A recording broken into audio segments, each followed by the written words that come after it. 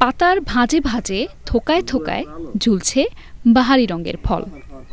এমন দৃশ্যের দেখা মিলেছে পটুয়াখালীর দশমিনা উপজেলার বেতাগী শানকিপুর ইউনিয়নের বড়গোপালদি গ্রামের কৃষি উদ্যোক্তা আবু ইউসুফের মিশ্র ফল বাগানে। তার বাগানে বলসুন্দরী, কাশ্মীরি আপেল কুল, ভারত সুন্দরী সহ পাঁচ শতাধিক কুল গাছ রয়েছে। এছাড়াও একই বাগানে পেঁপে সহ বিভিন্ন সাথী ফসল চাষ করে এলাকায় দৃষ্টান্ত স্থাপন করেছেন আবু ইউসুফ।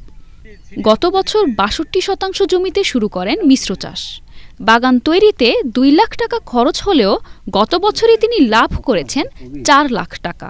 কিছু বছর আগে আমার এক দাদার বাড়িতে একটা গাছ ছিল, ওখান থেকে আমার ইচ্ছা যে আমি কুল চাষ করব। কিন্তু ওই সময় জানতাম না যে কুলের কলম হয়। তিন বছর আগে এই কলম সংগ্রহ করি। এতে প্রায় তিনশো সাড়ে তিনশো কলম কিনছিলাম। আর এই মাটি কাটানো নিয়ে প্রায় দুই লক্ষ টাকা খরচ হয়েছিলেন। তাই গত বছর এই কুল আর পেঁপে সিলেটের ভিতরে টাকাটা উঠে গেছে। আবু ইউসুফের এমন সাফল্য দেখে আশেপাশের অনেকেই আসেন বাগান দেখতে। এবং তারাও এরকম বাগান করার আগ্রহ প্রকাশ করেন। বাগান দেখতে আসছি এখানে ওই যে এই বড়ইগুলো অনেক ভালো এবং আমরা কয়েক বছর দুই তিন বছর যাবতীয় এখান থেকে বড়ই খাই এবং এলাকার এলাকাবাসীও যারা আছে তারাও এখান থেকে বড়ইগুলো খায়। একটা বাগান করব আল্লাহ চলে এই বাগান দেখতে। বড়ই বাগান খুবই ভালো আমি ওইরকম একটা বাগান করব। খুবই বড়ই ভালো হয়েছে দেখছি যে ভালো অনেকগুলি হয়েছে যে আমার একটু এরকমের আশা আছে যে সামনে ভবিষ্যতে করব আল্লাহ যে পূরণ করে আশাটা খরচের চেয়ে অন্তত তিন গুণ লাভ হওয়ায় পটুয়াখালীর দশমিনা উপজেলায় দিন দিন কুল চাষে ঝুঁকছেন চাষিরা। এ বিষয়ে উদ্যোক্তাদের প্রয়োজনীয় পরামর্শ দেওয়ার কথাও জানান উপজেলা কৃষি কর্মকর্তা। ব্লকে যে চাষি আছে, সে একজন সফল চাষি। সে আমার সাথে কথা হয়েছে, আমি তার বড়ই বাগান পরিদর্শন করেছি এবং সে বলেছে, স্যার, আমি বেশ লাভবান হচ্ছি।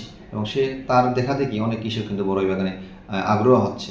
এবং তার একটা বিষয় আমি দেখলাম, সে আমাদের কৃষি বিভাগের বিভিন্ন পরামর্শ সে নেয়, আমাদের প্রশিক্ষণগুলো সে নেয় এবং সে তার যে বড়ই বাগান দেখে পাশের কৃষকরা এই বড়ই বাগানের পাশাপাশি সে সাথী ফসল হিসেবে সে কিন্তু পাশে দেখলাম পেঁপে বাগান আছে তার এবং এর পাশে সে এই বড়ই বাগানের ফাঁকে যে ফাঁকা জায়গাটা ছিল, ওই জায়গায় সে এই মৌসুমে সে আমাদের যে খেসারি ডাল আছে, যেটা আমরা বলি, সেটাও সে চাষাবাদ করেছে।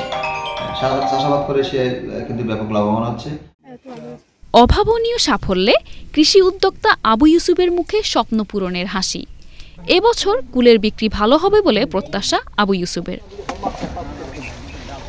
S A Hafsa, channel S, news desk.